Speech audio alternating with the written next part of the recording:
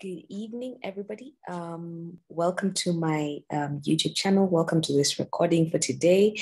Um, it's Sunday evening, and you all know what happens. We usually do a weekly analysis, um, just prepping for the week and just having an overview of a couple of pairs um, in terms of the, the possible direction that we'll take this week.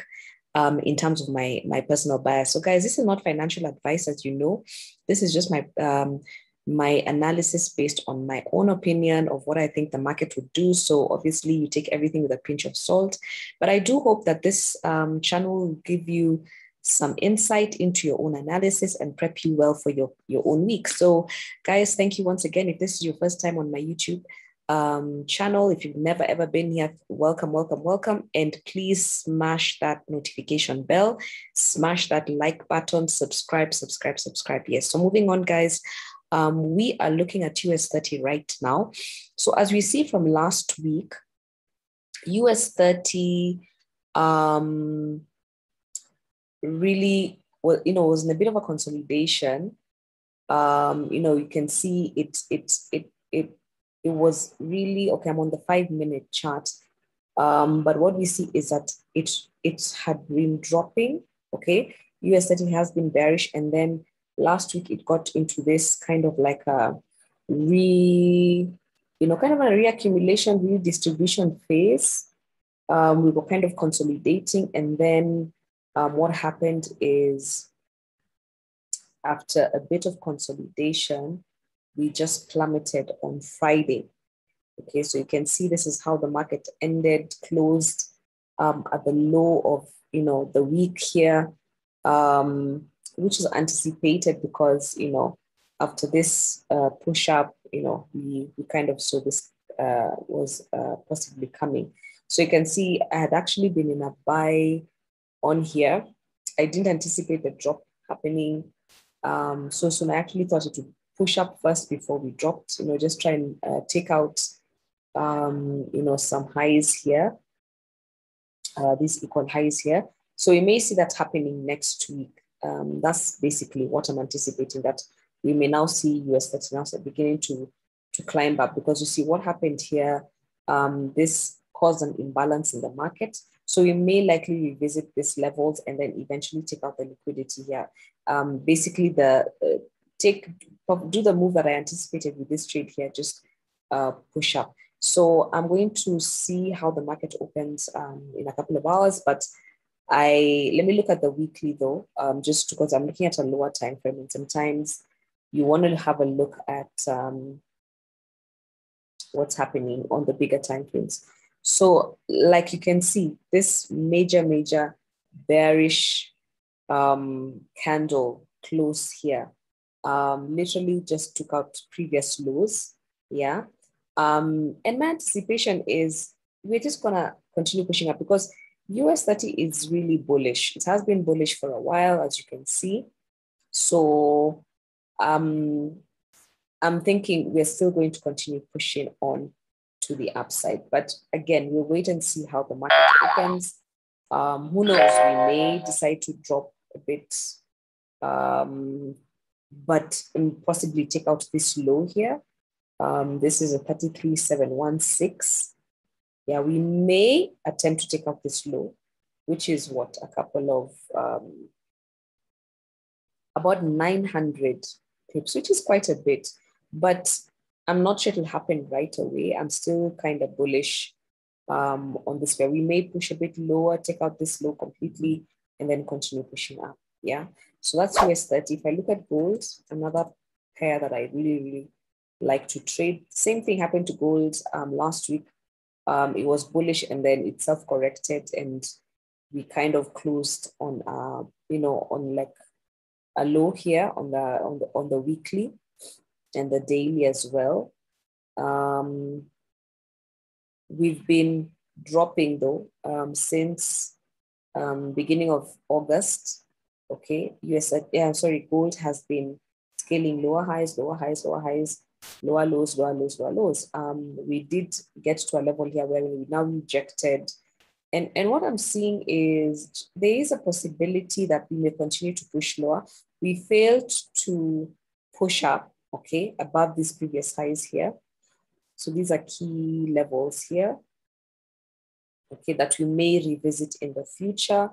Right now, everything is still looking bearish, so I, I won't be surprised if we do try to take out this low um, and, you know, before we, we push on up. But um, I think we are just about ready to start pushing to the upside. Yeah, after this correction here, I think we'll continue to pushing upside. So I'm technically um, looking at the market opening and attempting, you know, to uh, continue its bullish move.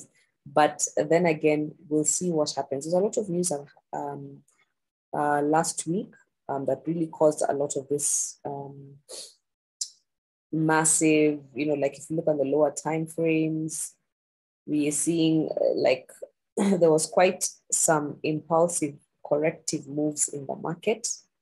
You see these drops here, you know, um, that cause, you know, we just see some really long bearish candlesticks. So we look like, I feel like we may continue to push, we may try to push lower, take out some equal lows here, okay? Um, and then eventually, you know, maybe begin to, to resume an uptrend. But it's very possible that that gold may actually drop um, significantly, okay, um, this week. Um, actually, when I look at it on the one hour, it, it's really, in as much as we are bullish long term, we may see gold drop lower, okay.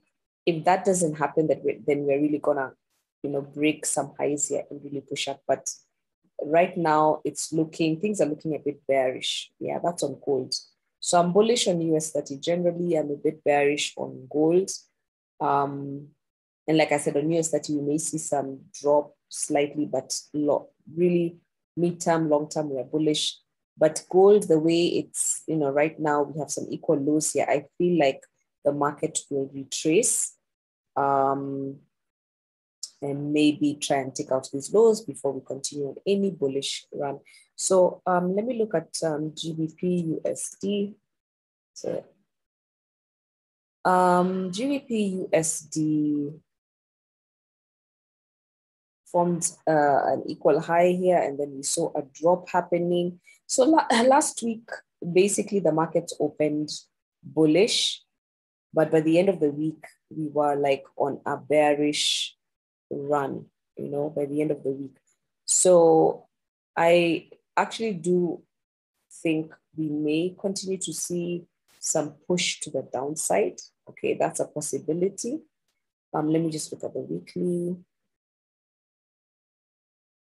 You see, so really on the weekly, we've really been bearish. Um,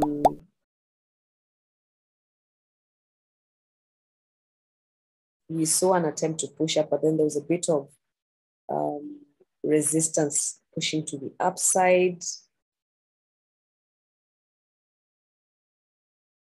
But I'm looking like this possibility to just have a drawn liquidity up here. You know, um,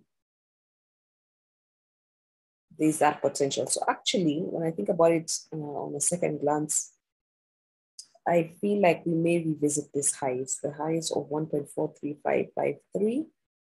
Okay. Um, we just may do that. We just may do that. If not, um, GU may just continue to drop all the way down to the previous low, which is 1.14117.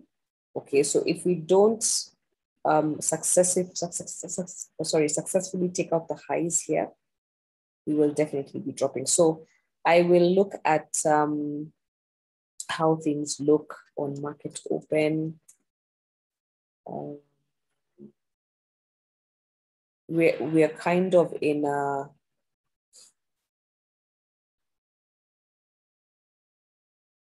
um, so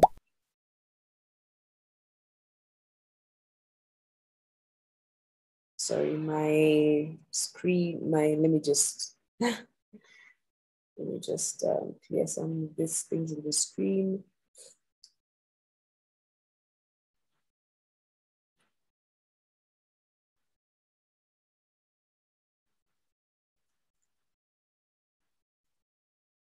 Okay, so um, GJ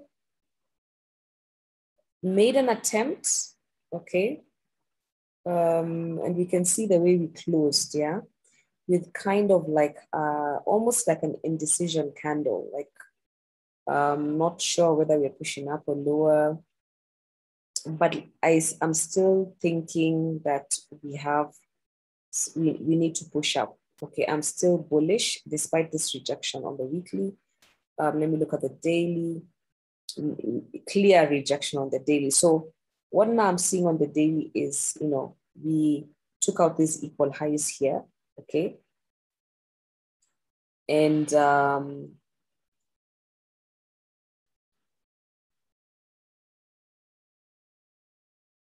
took out these equal highs here. Very interesting. Major rejection. So I'm, I'm seeing potential to just push lower, take out this low, and then continue up. So we're in a kind of a sideways range now, okay? Um, that's how we're looking.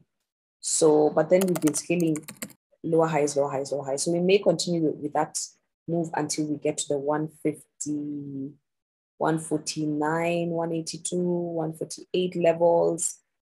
Um, because we've really been a bullish run and then we began to consolidate at these levels.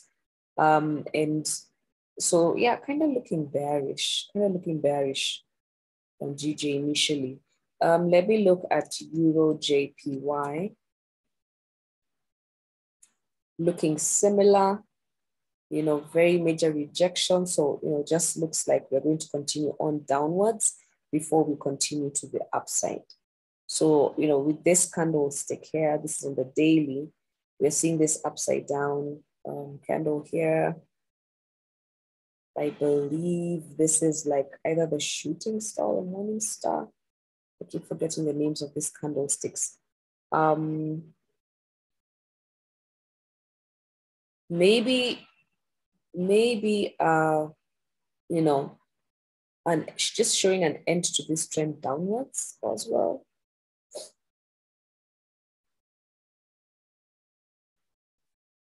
you know, so we rallied up and then we began to push lower. Um, let me look at the lower time frame. No, I was thinking it was bearish.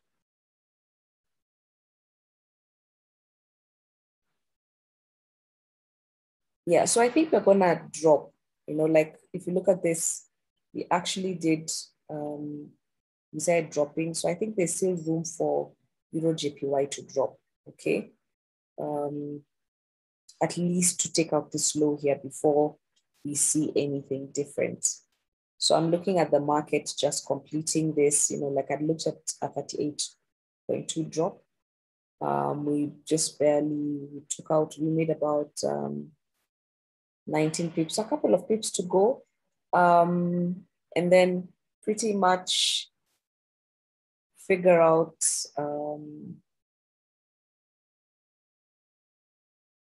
know, we're getting in distribution. Now we're kind of like in a in a range on this um, zone here. Okay, so we may just have a sideways um, movement, but I think we're gonna try and take out this low. And once we do, then you know we may even try and take out this other low here before we we continue to push up. So I'm gonna wait on Euro JPY. We may you know, with these consecutive candles to the downside, we may just continue to see the drop to the downside.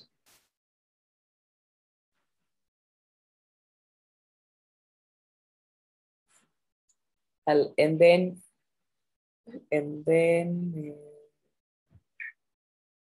yeah. So that is that. Um, then we look at um, hmm, JP, or I think I've looked at GBP, JPY. I want to look at Euro J, sorry, Euro AUD.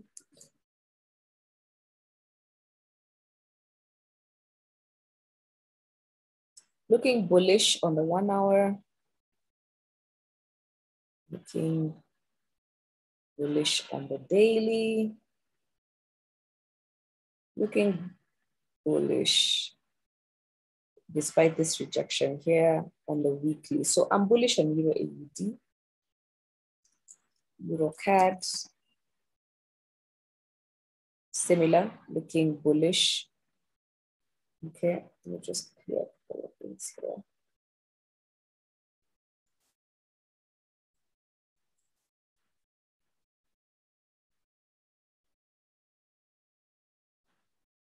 So we had rejection, rejection, but I'm still bullish on EuroCAD as well on the weekly.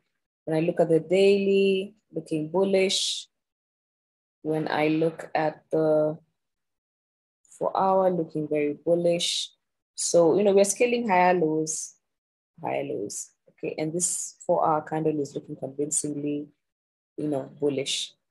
Um, so I'm bullish on EuroCAD. So I'm bullish on EuroCAD and Euro AUD and Euro JPY.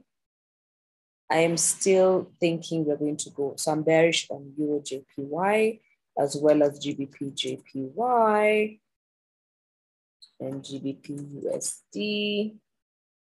Um, let me look at Euro USD, guys.